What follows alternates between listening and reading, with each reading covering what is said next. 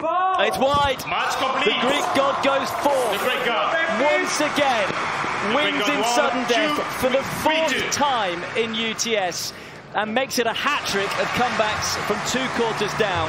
It was dramatic, it was fiery, it was at times perhaps a little bad tempered, but once again, this man wins playing ugly.